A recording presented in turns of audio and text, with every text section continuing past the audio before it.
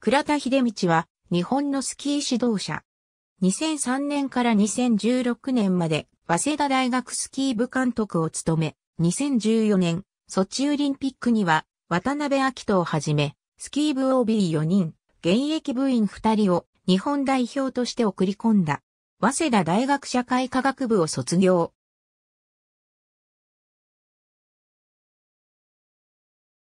早稲田大学院スポーツ科学研究修士課程を修了。1984年に大東京火災海上保険に入社する。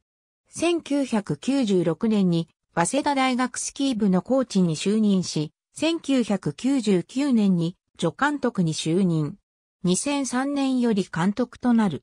2006年より、アイオイ日生同和損害保険から早稲田大学に客員教授として出向し、フルタイム監督としてスキー部を指導する。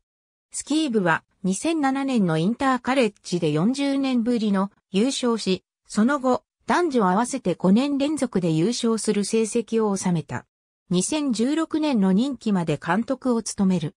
アイオイ日生同和損害法は連続で東京都スポーツ推進企業に認定されるパラアスリートスカラシップ制度など、障害者アスリートの支援にも力を入れているが、倉田は経営企画部次長として障害者スポーツ支援、パラアスリート採用に携わっている。ありがとうございます。